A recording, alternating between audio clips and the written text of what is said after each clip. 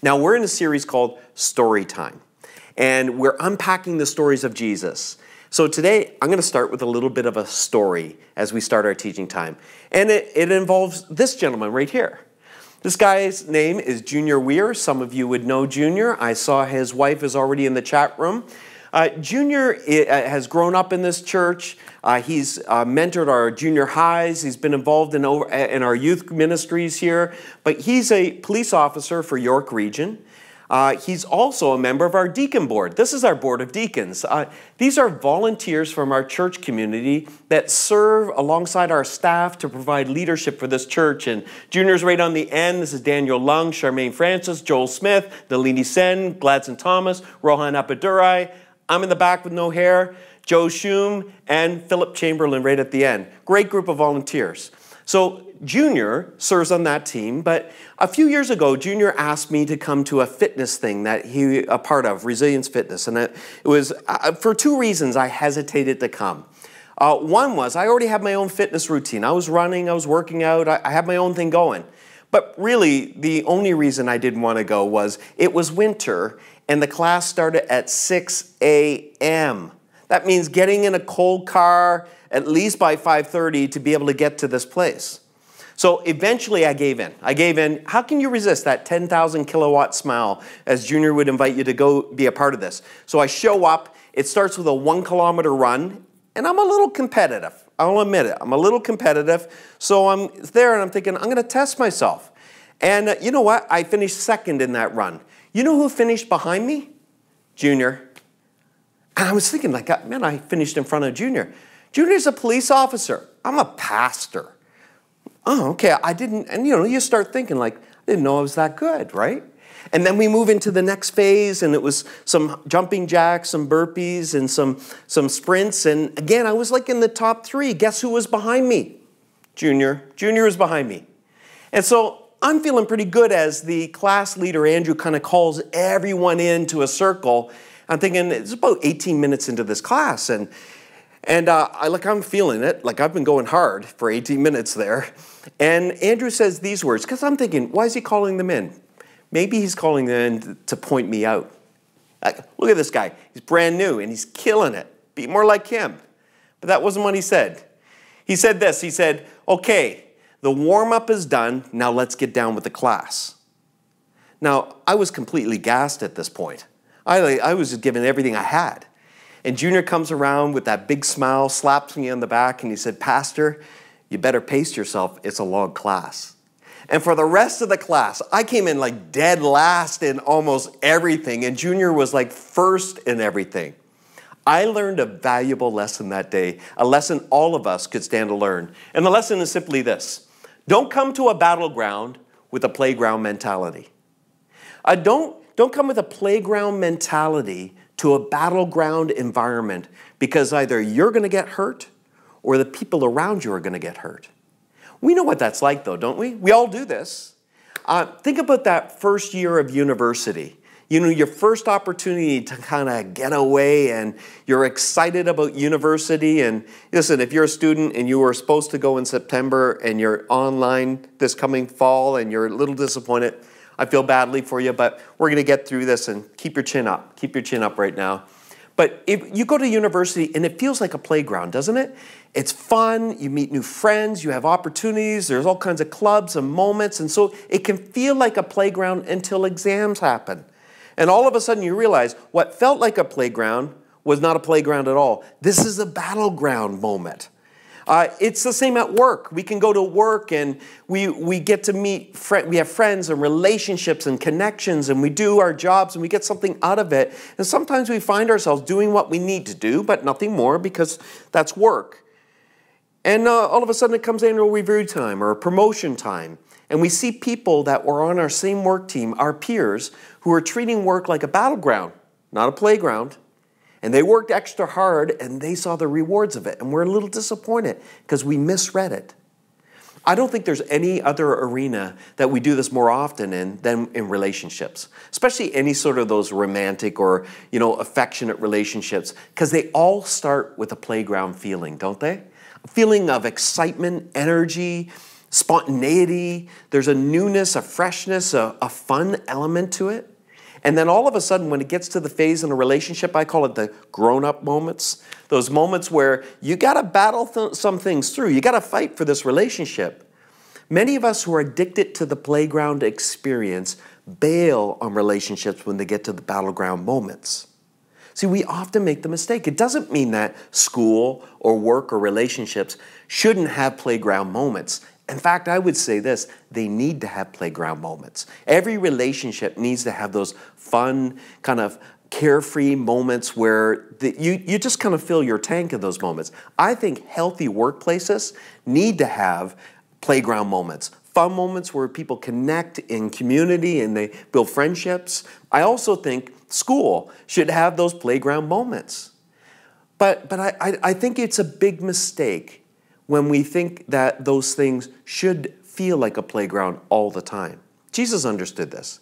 Jesus was so good at playground moments. Whether it was a wedding feast he was attending, whether it was a tax collector's party, or whether it was hanging out with his disciples, he was fully present in those moments, enjoyed those moments, had fun and levity in those moments. But he never lost sight of the fact that he was in a battlefield.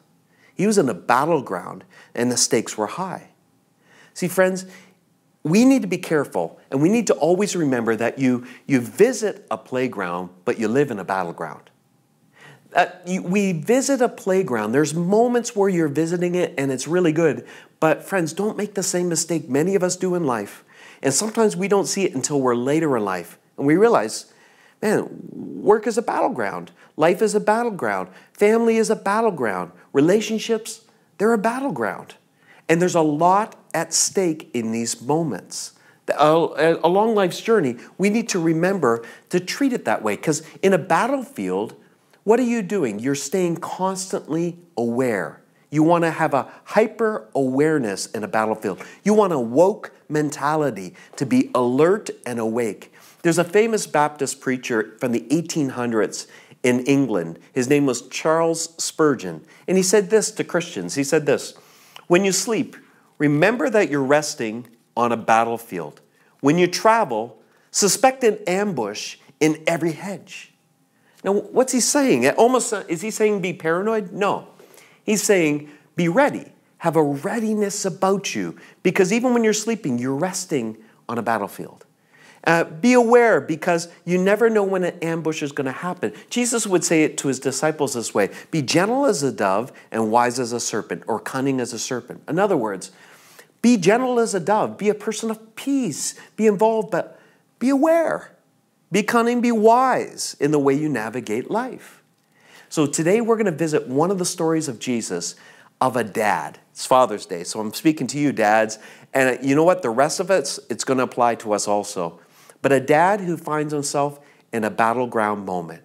If you want to follow along, turn to page 70 of your Jesus Project book or turn to Luke chapter 8, verses 41 to 55. Here's the story. It starts this way. Then a man named Jairus, and he's the principal character besides Jesus in this text that we'll be focusing on. Jairus, a leader of the local synagogue, came and fell at, the, at Jesus' feet, pleading with him to come home with him. There's so much happening here. This is very interesting. The word pleading also means begging. So here's the imagery Jesus is coming into the village, and this man of notoriety, of significance, falls at his feet and begs him to come to his house with him. It's the same Greek word, pleading, that is used in Luke chapter 15. And it's an interesting story. It's the prodigal son story in Luke chapter 15, and Pastor Keith is going to talk about that next week. And if you know the story, you know that this father had two sons, and one went and took his inheritance early and squandered it all. And he came home with his cap in hand, and the father welcomes him back in and he throws a big feast. And the older brother, who had stayed loyal and faithful and stayed there, he, he refused to come into the feast. And so the, the father goes outside the feast area and the banquet, and he falls at his son's feet, and it says the same Greek word, he begged his son to come in. Now, that would have been shocking to the listeners when Jesus was telling that story in Luke 15, because that was so improper in that first century culture. I think it even rings as being improper even in our you know 21st century culture. It was improper in that the elder did not bow to the younger. What is a father doing begging his son? It, it was seen as being not appropriate. It was, it was wrong. It was even embarrassing. Like, where's your pride, Dad, in that moment? And this is the same place Jairus finds himself. He's at the feet of Jesus. And you got to understand, he's a religious leader, a leader in the synagogue. And all many of the religious leaders were, were anti Jesus, they were threatened by Jesus. So for him to fall at his feet, he was the king of the gram in his area. He was the one that everyone looked to. Everyone knew who Jairus was. He was successful. He would have been a man of means and had some wealth. And here he is groveling at Jesus' feet, begging for him to come to his house. See, this man's so desperate. He's so desperate, he doesn't even care what this will cost him socially. He doesn't care what this will cost him and how many people will unfollow him because he's he's coercing or he's he's relating to a person that the religious establishment felt threatened by. Here he is at his feet. And many of the people would have been looking on and they'd be wondering, why is Jairus there? See, I think sometimes, do we not judge a lot? We judge people, don't we? You know, we get a little judgy, don't we? I think sometimes we look at people and they seem to have a silver spoon, or their life seems so good, or they got money, or they drive a nice vehicle, or their family looks like they're all happy, and we mistakenly think they have no struggles. You know, I was uh, watching this YouTube video, and Pastor Keith mentioned this uh, famous Canadian astronaut, Chris Hadfield, a couple of weeks ago in his message. And, and I, I, had seen this little clip, and it came back to my memory when I was reading this text of Jairus. And in it, uh, the interviewer asked Chris Hadfield, if you could call your 20 year old self, what would you say to your 20 year old self? And here's what he said.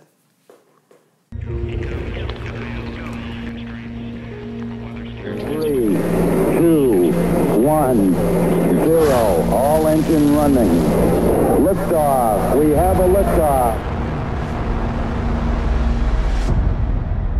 If you could make a phone call to the 20 year old Chris, um, what would you tell him? I think what might have been worthwhile to explain to myself at 20 is to recognize that every single person you meet is struggling. I didn't know that then. You tend to see other people as completely formed individuals. I still do sometimes. But to recognize that everybody you meet, every single one of them, no matter how expensive their suit is or, or how um, serious their expression is, they are uh, looking for significance. They are trying to uh, do the best they can, and they fail regularly. And, and they're, they're you know, within their own particular battle of, of their own life.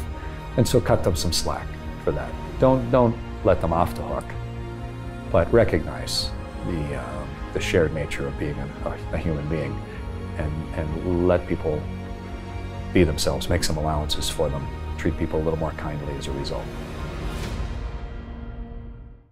How different this world would feel if we knew that every person we met and every person we knew, everyone was struggling and everyone fails regularly. That even some of the people that look pristine in nature, somewhere in their life there's a struggle. It might be financial, it might be in their physical bodies, it might be in their mind, it might be their emotions. They might be struggling in a relationship they can't repair or fix. They might be struggling in a marriage where they can't find that love again. They might be struggling with a child that they can't fix but everyone is struggling. How different it would be if we understood that in this life. Now, the fact is, and this is what I'd love you to say out loud if you would with me, if that's the truth, we need to recognize that everyone is on a battlefield. Can you say that with me? Everyone is on a battlefield. Everybody we know, including you, everyone I'm talking to, you're on a battlefield, and everyone is struggling in this battle. And that's why this world needs kindness. We need kindness. But kindness is a difficult thing to quantify because I've never met a person who felt like they weren't kind. I've never had anyone on all the years I've been pastoring, 28 some odd years, I've never had someone approach me and say, I'm not a kind person. Everyone thinks they're kind. Here's though, the biblical understanding of kindness looks like this kindness is the marrying of two things. Kindness is the marrying of a motivation, a motivation to be kind, and an action in order to bless someone else. Those two things need to come together for biblical kindness to be understood. Now, here's the thing I know this, I get it in my life, you've done it in your life. Sometimes we get one side of that. Sometimes we feel motivated towards kindness. We feel kind things in our heart when we see somebody struggling or we want to help someone or a people group or something, and we feel it. But kind things in our heart or kind expressions in our heart that don't marry actions, the Bible would say, in fact, that's not very kind. It's an intention that never works, its way, works its way into an action. The inverse is true too. Maybe you've experienced this. Have you ever experienced someone who did something kind, but you know there was lots of strings attached? Maybe sometimes in life, and we can do this with family members, even as they age and, and we have more things we're responsible for, and you do kind things and you could start to be resentful though. So the motivation isn't right, the action is right, but without the motivation and the action coming together, we can't posture our hearts to actually be a blessing. So, what does it look to be kind? Jesus was so good at this. Moved with compassion, he took action. He expressed his kindness. So here he is. He's walking to this village. Jairus, this important man, is on his knees begging Jesus, Come to my home. And Jesus does. You know what's interesting about Jairus in this moment? He's a rich man and he's more used to people being at his feet, not having to sit at somebody else's feet. He's an important synagogue leader. Many people may have done the very same thing, fallen at his feet, begged for help. He's not used to having to beg someone else for help, though. I, I know this is true, and this is why he was so desperate. He was desperate because he was a dad and he was in a losing battle moment. His 12 year old daughter is about to die. And he's at his feet. Now, I got to tell you this, I believe this is true. If Jairus wasn't so desperate, he wouldn't have been at Jesus' feet. There's a gift, at least in my life, in some of the losing I've experienced. Because the losing has caused me to reach out for the victor and reach out for his hand, Jesus. Here's what happens though. So he's at Jesus' feet, and this is what the text says. His only daughter was about 12 years old, was dying. So his daughter's dying. This has caused this desperation, this moment where he is turning to Jesus to look for help. And it goes on to say this As Jesus went with them, he was surrounded by the crowds. Now, this is, I would love you to say these three words out loud with me where you are. Went with him. Went with him. Because that's key. As Jesus went with him, he was surrounded by the crowds. The crowds want to see a miracle, they want to see something happening. But there's something powerful about Jesus going with him. You know, I, I won't, I, let me ask you this question How brave are you? How courageous are you? I've had over the years of leadership, and I've had the privilege of serving in many different cities and communities and churches. And over the years, every once in a while, someone will say, Hey, that was really brave of you, or that was courageous. You said this or you did that. And I always think to myself, You don't really know me. I'm not that brave. I'm not that courageous. I'm really not. But there is something in me when I acknowledge and I feel and I know that the one who is with me is greater than anything that will oppose me there's a courage. I can't, I can't explain it, but maybe you've felt it that wells up inside of me to say things that I know are according to God's kingdom, to, to lead towards things that are going to free people and, and are going to be a part of healing people because I know greater is he that is with me than he that is in this world. In fact, those are the words of the Apostle John Greater is he that is with you If you're in Jesus, He is with you, friends. He's with you in the middle of the battle. He's with, with you when you feel like you're losing. He's with you when you've won and you've not even acknowledged Him. Greater is He that is with you than anything that will come against you. What a powerful truth. What a powerful word there. So when Jesus says, I'll go with you to Jairus, can you imagine the hope that resonated in his heart and just began to grow in that moment? He came with one express purpose get Jesus to my house. Let the healer do what the healer does. So he now, it's mission successful. Jesus is on the way with Jairus. He's headed this way, and you kind of know what's going to happen next because we talked about this a few weeks ago when I was teaching about the centurion's faith and the woman who touched the hem of Jesus' garment. You understand, in the middle of Jairus' story is a delay, a painful delay. Jesus encounters a woman who's also ill, and Jesus stops to talk to her. Now, Jairus, I can only imagine as a dad the agony as he felt waiting for Jesus to finish with this woman. And, it, and, on the natural, it didn't even seem, it doesn't even feel rational because he stops to deal with a woman with a chronic condition and he seems to ignore the little girl with the acute condition. We all know there's a difference between a chronic and acute condition. A chronic condition has been going on for years. What's a few more hours? I could see Jairus going and wanting to step in and say, Hey, Jesus, you can circle back and have your conversation with this woman. Let's get going. But he sits there and he's waiting on the teacher, the healer, this man that, that is the one who's done miraculous things. He's waiting for him to finish with this woman.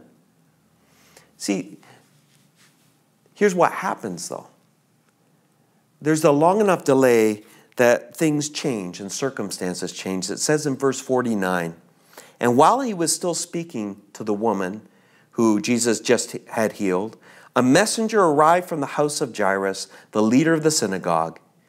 He told him this Your daughter is dead. Jairus, the battle's over. You've lost this battle. Now leave the teacher alone. Don't, don't bother Jesus anymore. The battle's over. It goes on to say in verse 50, but when Jesus heard what had happened, so he must have overheard this person say it to Jairus, or someone else whispered in his ear, Hey, Jesus, uh, Jairus' daughter's dead. It says this that Jesus turned to Jairus and said, Don't be afraid. Can you say that out loud with me? Don't be afraid. Just have faith. Can, let's say that whole line together. Don't be afraid, just have faith, and she will be healed. This is an amazing moment. So Jairus falls in line with Jesus, and it says this in verse 51 When they arrived at the house, it was filled with people weeping and wailing. But Jesus said, Stop the weeping. she isn't dead. She's only asleep. And in the text, if you're reading it, it says they even laughed. Some of the people laughed at this. Then Jesus took her by the hand, this young 12 year old lifeless body, took her by the hand and said in a loud voice, My child, get up. And at that moment, her life returned and she immediately stood up. There's a big lesson in this for all of us, friends. A big lesson. It's a lesson if you've been following Jesus, you, you've had to learn this over and over and over. It's a lesson that if you're not presently a follower of Jesus, I'm going to pray with you at the end of the gathering, give you that opportunity. But I want to kind of pre warn you. Here's a lesson that Jairus learns that you and I would be good to learn. It's simply this You will always, can you say the word always? You will always give and get far more than you bargained for when you go to Jesus. You will always give and get far more than you bargained for every time you come to Jesus. Look at Jairus. He, he didn't come, he came for a cure. That's what he was looking for, not a resurrection, right? He came to Jesus to, to get a cure. He had heard of Jesus' healing power, and he's thinking, if I can just get Jesus to my house, I know it'll be okay. He wasn't looking for a resurrection, but Jesus required more of him. This child passes away. And that long moment where Jesus looks at him after his daughter has died and basically he says to him, Trust me. Trust me. Jairus thought he was going to have to trust him for a cure, not a resurrection. That's a whole different level of trust. Here's the amazing thing when you come to Jesus Jesus is looking more, he's looking for more than a moment from you. He's looking for a life with you. He's looking for more than a part of you. He's looking for all of you. And you'll find that the more you give of yourself, actually, it's beautiful. The more you experience all of Him for you you will get far more than you ever bargained for. You might come to Jesus to take care of this part of your life, and you realize, whoa, he swings open the door to so much more than you could have ever imagined when you're coming to him. Now it's interesting. He comes to this house, this place of death. He walks in, everyone's grieving and weeping and crying, and he comes to the bedside of this 12 year old lifeless body. And he takes her by the hand and he says these two words and the original language he spoke them in, they're really meaningful. He says this word first. He says, Talitha, which means little girl, which might sound fairly obvious, right? A more of a descriptive term. But it's actually lost on us because in the first century, Talitha would have been a little bit like a pet name. I don't know if you have pet names. If you're a dad or a mom, do you have pet names for your kids? And uh, I know my, my wife, uh, her mom used to call her Bunny Rabbit. Now she she was an only child, and so I guess you know it's easy to come up with pet names. Now she asked me if I had a pet name, and I just I got thinking about it. Like I'm one of six kids, right? So I think my parents were lucky to get my name right. You know, I don't know how many times in the moment of being disciplined or something, rightfully deserved, my mom would say.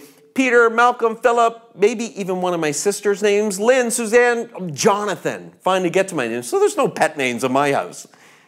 But a pet name was endearing. In the first century, probably the best way to understand that word Talitha is basically Jesus came alongside this, this body, this shell of a girl, 12 year old, and he uses the term, it'd be almost in our modern vernacular, it'd be like saying honey. And then he says this word, Talitha Kamu, which means wake up. Wake up. I mean, this is beautiful imagery, friends. And this is powerful for you and I to check out and recognize what's happening in this moment. It's like a parent coming in to wake their child up to go to, to school. Honey, it's time to wake up. It's so it's so intimate in this moment. It's so beautiful and it's so different than some of the other healing accounts we hear in scripture. You know, Jesus doesn't come in that day and appeal to a higher power. He is the higher power. Whew, totally different. Jesus doesn't come in and it's not a dramatic moment like Elijah in the Old Testament, laying across, prostrate a dead corpse and bringing it back to life. No, Jesus just comes alongside, grabs her by the hand, and says, Honey, it's time to wake up. I want you to recognize the power of this man. It's significant. This man has faced forces like that big storm on the Sea of Galilee that Pastor Keith talked about that was quieted. He's facing a force today in that moment that's much more powerful than that storm. He's facing a force in this moment that is much more powerful than the demons that he set a man free from, that commanded him. He's facing the inescapable greatest fear in the human race death itself. And for Jesus, Jesus reaches down, says, Honey, it's time to wake up, and he pulls her up from death into life in that moment. You see, friends,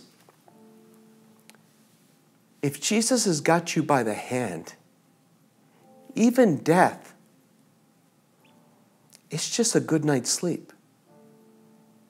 There is nothing impossible for Jesus. Is Jesus with you?